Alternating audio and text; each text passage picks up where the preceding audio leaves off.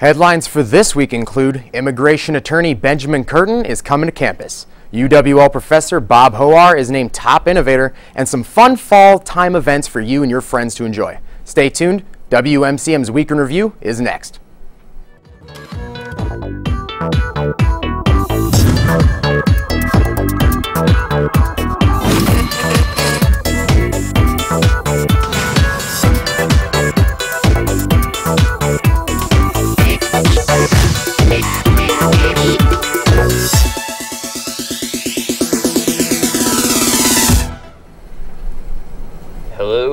Thanks for watching WMCM's Week in Review. I'm Zach Hanson. And I'm Engstrand, Aaron Engstrand. Milwaukee attorney Benjamin Curtin will be visiting UWL's campus next week to speak about immigration reform and compliance. Curtin, who has 12 years experience with immigration law, will help explain the new immigration reform and discuss what changes employers should be paying attention to, and the insight involved with having an immigration compliance strategy. The event takes place at noon Friday, November 8th in the Strzelczyk Great Hall located at the Cleary Alumni and Friends Center. Admission is free and a reception is planned directly after the seminar with Benjamin Curtin. If you would like to receive materials about the topic, RSVP with your email address by November 6th at 608-785-8783 or at sbdc at uwlax.edu. Associate Vice Chancellor of Academic Affairs and UW La Crosse mathematics professor Bob Hoar was named top innovator in digital education. Hoar played a main factor for the university's Math Massive Open Online course, also otherwise known as the MOOC. It also won a national award in 2013 for the Desire to Excel Awards for individuals, groups, and organizations that display ingenuity, creativity, and collaboration in guiding students to achieve highly in college. For more information on Bob Hoar's achievements, visit the UW Lacrosse website at www.uwlax.edu. Now here's Stephanie Haugh to tell us about what's coming up on campus. Thanks, Zach. If you like laser shows and rock music, there is an event just for you. On Friday, November 1st, the UWL Planetarium and Physics Department will be hosting Album Encounters, a multimedia light and laser show. The show will feature music from the popular rock band Nine Inch Nails. Admission is $5. The show starts at 8 in the evening on campus at the UWL Planetarium. For more information, you may contact Bob Allen at allen.robe at uwlax.edu or at 785 8669. Also happening on Friday, November 1st, CAB, along with the Leadership and Involvement Center, will be bringing UWL students experience that allows them to follow the journey of food insecurity and the serious implications that hunger possesses in America. The movie will be a place, a place at the table. The movie will be shown in Centennial Hall, room 1309. Admission is free. For more, informa more information can be found at www.facebook.com slash uwlcab. Movie times are 6 and 9 p.m. On Saturday, November 2nd, the UWL Planetarium will be hosting a pub public planetarium program. The program is titled Cosmic Castaways. Admission is $5 for adults and $3 for students, children, and senior citizens. For more information, you may contact Bob Allen at allen.robe uh, at uwlax.edu. Now back to you, Zach. Thanks, Stephanie. This week, WMCM set out Jenna Moran and Haley Doherty to learn about an exciting event that is being put on on UWL's campus activities boards. Let's take a look at what they found.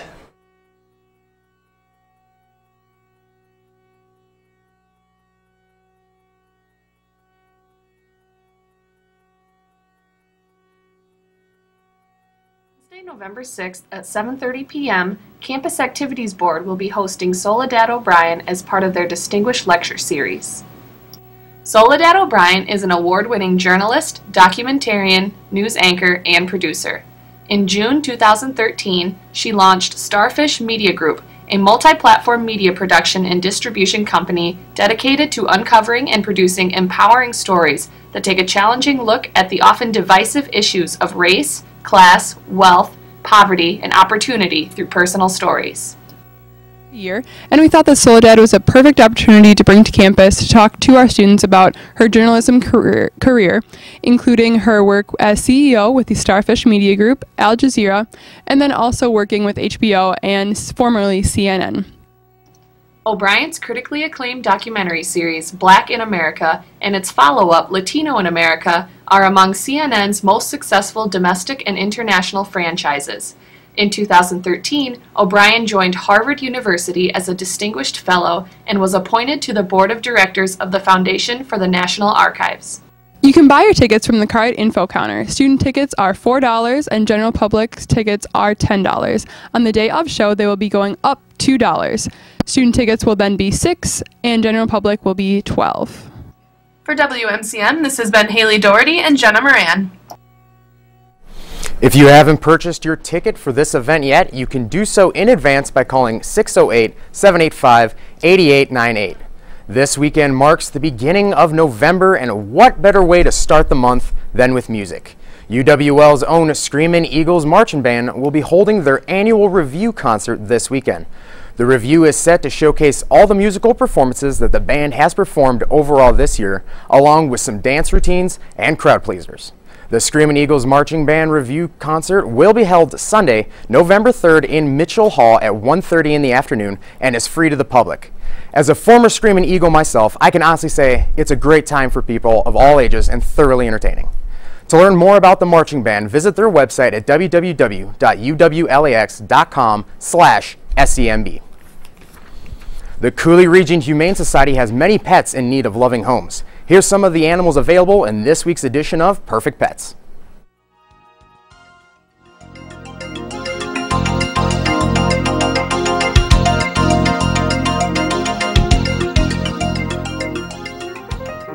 Meet Jasper, the friendly dog.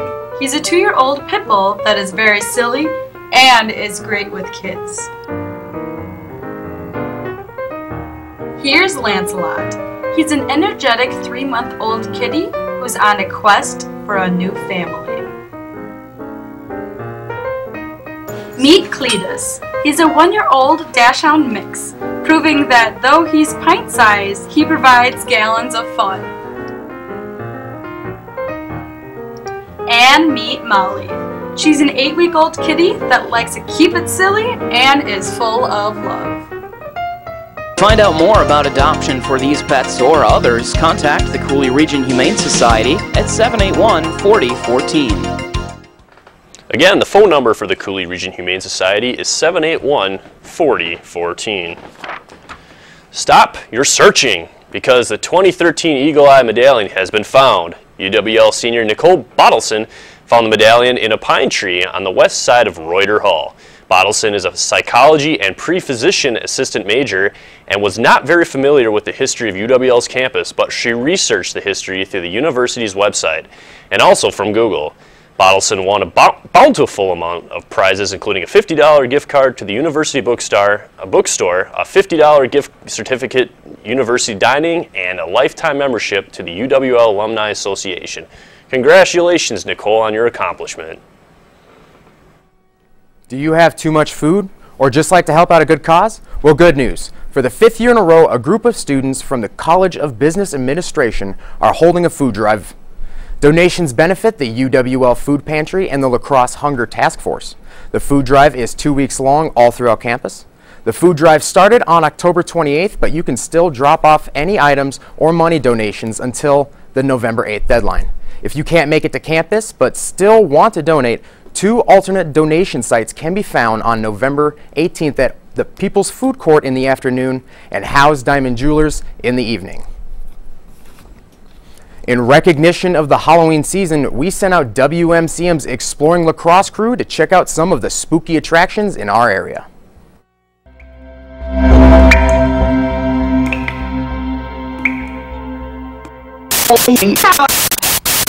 This week for Exploring the Cross, John and I are out here at Clearwater Farm located in Onalaska for the 32nd annual Screaming for a Reason Haunted House. And I'm freaking out. John, how are you doing? I'm doing great, but I don't understand why you're freaking out. I mean, this is for such a great cause. Are you afraid of the monsters or something? Uh, yeah. I mean, come on, it's only $10, and if you bring two non-perishable food items, it's only $8. You couldn't ask for anything better than that.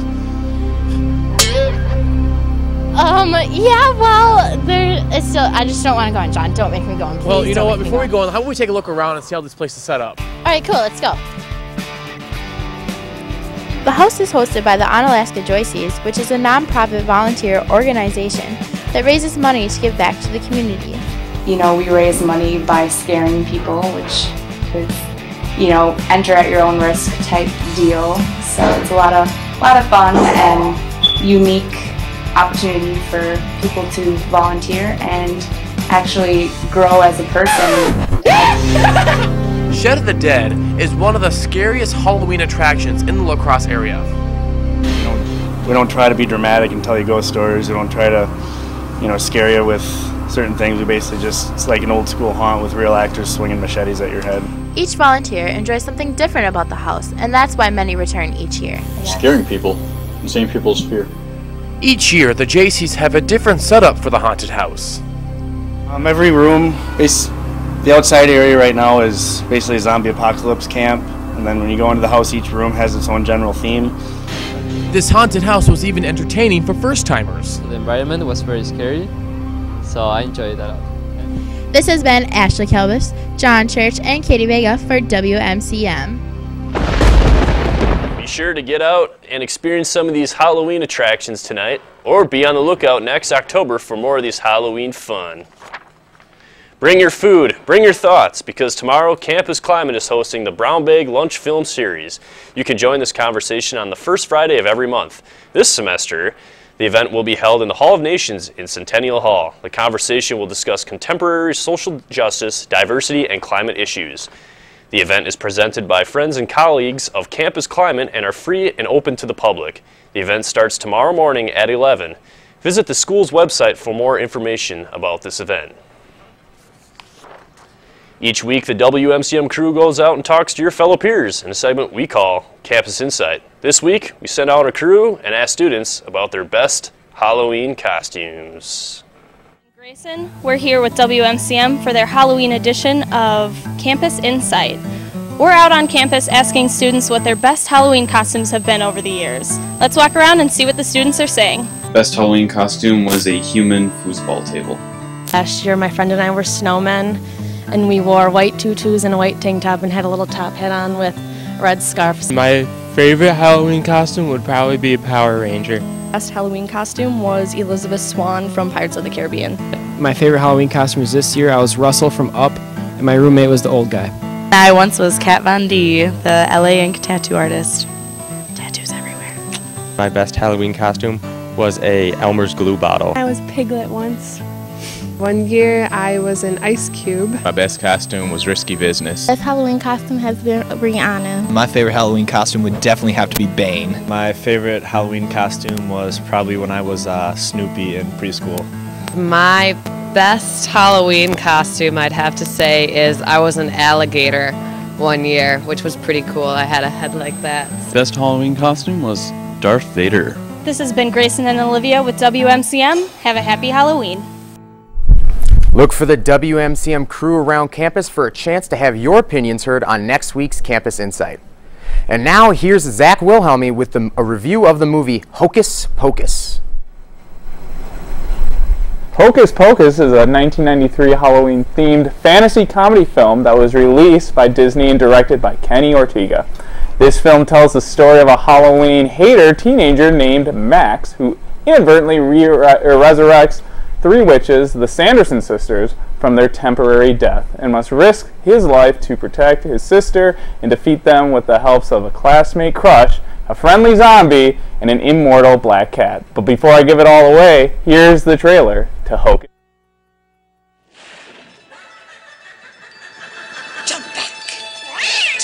The bones and then the back. Each decapitated Malika mystic. Back in 1693, the people of Salem, Massachusetts, witches, Yes? thought they got rid of the Sanderson sisters for good. Uh, we shall be back! 300 years later, oh. it's Halloween Eve, and they're back. We're home!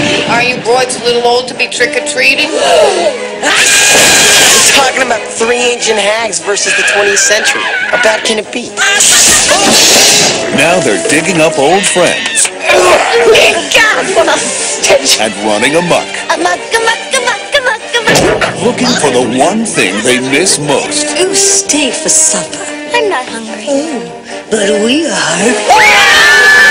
Only one boy has the power to stop them Prepare to die again! You have no powers here, you fool! before all Salem falls under their spell. Tell you! Wrong. I spell you!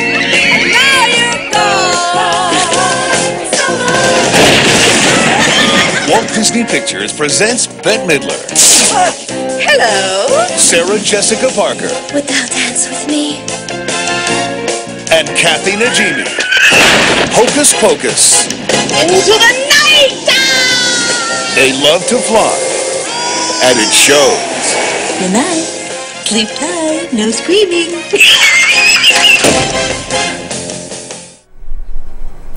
Boy, wasn't that some great Halloween fun. That was always a staple of mine going into the Halloween season. I actually modeled my costume off of Thackery Binx. So I highly recommend for you to, to uh, check out that movie. You can see it on the Disney. It actually, a little fun fact about it, it was supposed to be only a Disney movie, but they pushed it to the theaters and uh, had a cult following after that.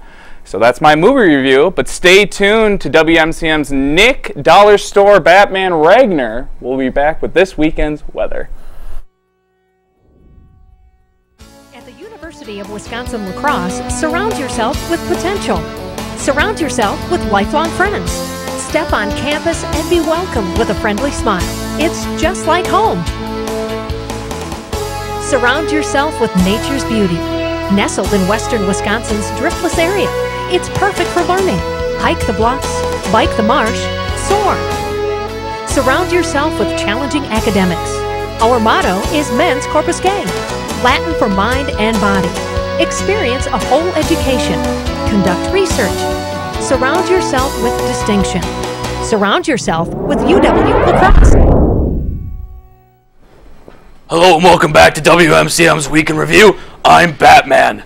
So today we gotta hurry up with this weather thing because I have to go catch the Joker because he's robbing a bank. So tonight we're looking at a low near 39 with rain possible. Make sure you get those umbrellas out. For tomorrow we're looking at some more rain, highs nearing 52. Tomorrow night we're looking at lows nearing 36 and cloudy skies. On Saturday we're looking at highs nearing 47. For Saturday night, we're looking at lows nearing 29.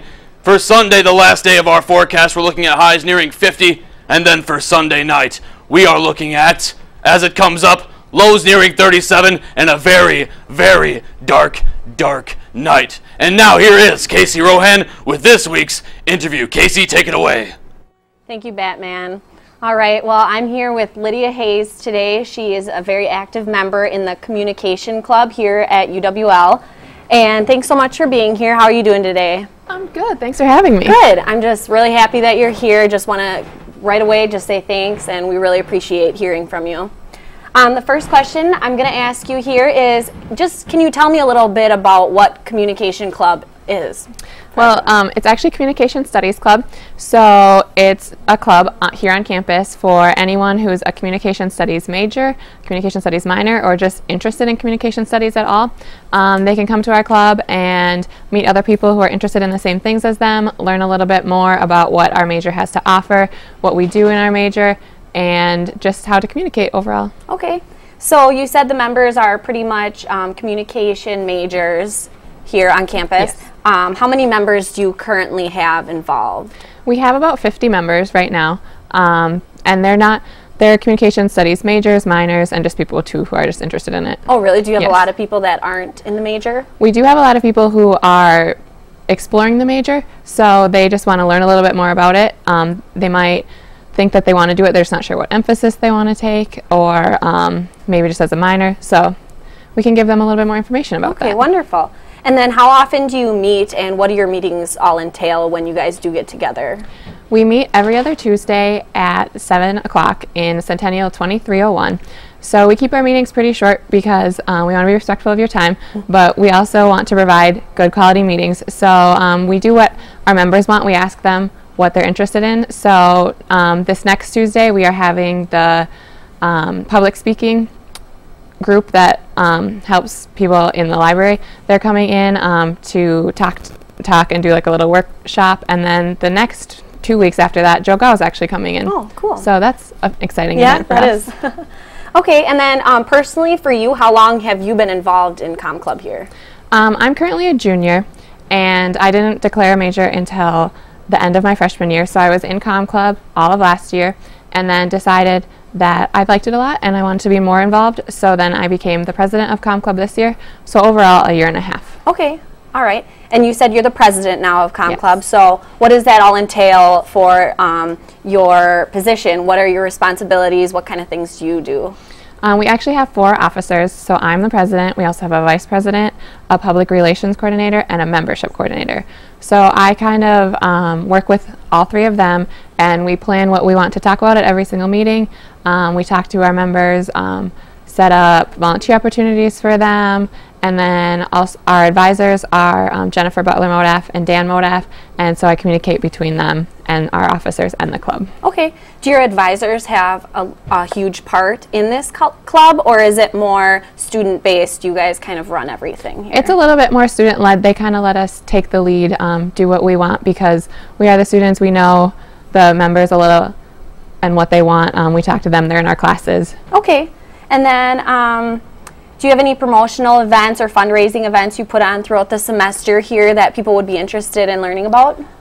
We just want to get people to um, learn a little bit more about Com Club. So we put on events um, in the beginning of the year. We have an event where people can meet the pr- new professors and just chat with the professors, network a little bit.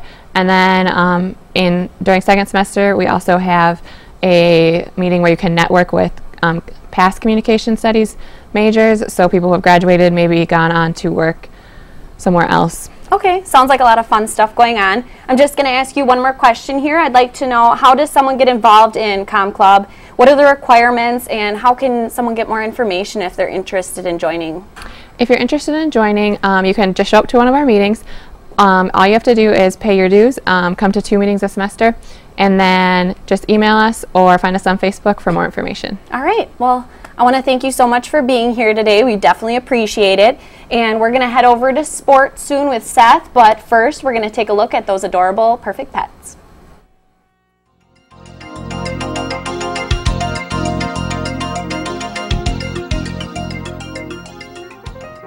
Meet Jasper, the friendly dog.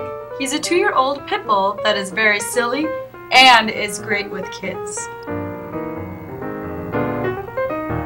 Here's Lancelot. He's an energetic three month old kitty who's on a quest for a new family. Meet Cletus. He's a one year old Dachshund mix, proving that though he's pint sized, he provides gallons of fun. And meet Molly. She's an eight week old kitty that likes to keep it silly and is full of love. Find out more about adoption for these pets or others, contact the Coulee Region Humane Society at 781 4014. Again, the phone number for the Coulee Region Humane Society is 781 4014. The Eagles football team looked to climb their way into the win column for the second straight week, hosting conference rival Stevens Point this past Saturday. Things started off a bit dicey for the Eagles when the Pointers blocked Matt Van Druten's opening drive punt and returned it for a touchdown. The rest of the first half belonged to the Eagles, though, as they capitalized on the defense's opportunistic takeaways and scored 28 unanswered points to take a 28-7 lead into the break. The Eagles' offense sputtered in the second half, managing only a single first down conversion. and the Pointers mounted a hard-fought comeback. Driving late and down by just seven, Stevens Point worked their way d- deep into the Eagles' territory on fourth down with just seconds to play. The Eagles' defense came up big and made a game-ending stop on the two-yard line as time expired to preserve the 28-21 win. Sophomore quarterback Trent Cummings threw three touchdowns and is now 2-0 as the Eagles starter after replacing senior quarterback Andy Sires. After the game, he was quick to credit the play of his teammates and the defense's five takeaways for making his job a lot easier. The Eagles will look to improve to 3 and 5 this Saturday when they host winless UW River Falls at 1 p.m. The women's tennis team was back in action at the WIAC tournament this, in Madison this past weekend. The Eagles had a strong showing, capturing one singles and two doubles championships on their way to second place overall. Eagles senior Abby Tressiter had herself an impressive day. The third seeded Tressiter won her first WIAC title, knocking off both second and fourth seeds on her way to the number two singles championship. That wasn't all for Tressiter, as she and senior Olivia Hartwick rode a 3 0 record all the way to the number one doubles title. Sophomores Kimmy Mrozik and Brianne Blanton entered the number two doubles tournament, seeded number one, and after a bye, defeated both the fourth and second seed teams to take home the number two titles by finishing uh, second in both the regular season standings and at the championships. The Eagles will be one of four teams to advance to the team tournament in the spring to determine the conference's automatic qualifier for the NCAA Division III championship. Women's volleyball team was looking to bounce back on Saturday against UW River Falls after a tough loss on Friday to UW Stout. The Eagles came out firing for a dominant 3-0 victory as Crystal Ziegler and Lauren Probst led the team with 10 kills each. Ziegler was dialed in, hitting 400 for the match, and committed only two errors in 20 attempts. Freshman Jill Entinger made a major contribution as well with nine kills, hitting an impressive 467. With the win, the Eagles improved to 13 and 2 overall and 3 and 5 in the conference, and return to action this Saturday at Stevens, the Stevens Point Quadrangular. That's all this week in sports. Back to you guys. Pretty incredible stuff happening there for the Eagles, tearing it up. Yeah. Seems First two like wins it. of the season. You okay, man? Like your mustache kept falling off. Is it all right? I have a condition I don't like to talk about on air. Oh. Does the condition involve growing hair? That's pretty impressive. Sir. Yeah. Garth, I gotta ask, where's Wayne? I don't know. I think he wanted to be James Bond instead. I don't know. Uh, Who wouldn't want to be James Bond? I know that when I'm James Bond, I can Has completely. anyone seen the Joker? I'm looking for the Joker. Oh God, Batman's here. Have you seen the Joker? You're the Joker. Wow, that was harrowing. Well, that's all for watching WMCM. But as I like to say in the James Bond world, nothing's ever too over until the mission is complete, and the mission is never complete. Oh. Not yet. Not today. As we continue on after all of this, I will continue to fight crime for the Bureau of Investigations over in Britain, You're not MI, Batman. as they call it. But otherwise, I have a lot of things to continue on with. Garth, what are your plans for Halloween? Um. We're supposed to keep talking. I don't know. We, we, we I just, I don't know what to do. I think I'm going to hurl. What are you gonna do? If you start hurling, I'll start hurling. If you guys start hurling, I guys start hurling. What are you gonna do with the weekend? Uh, I'm gonna be partying up Halloween style. A lot of kids trick or treating. All right, thanks for watching WMCM's Week in Review. Catch us next week at, at the following times of 2:45 and 4:30, and next Thursday at 4:35, right here on Campus Channel 6, Charter Channel 96, and Digital Cable Channel 989.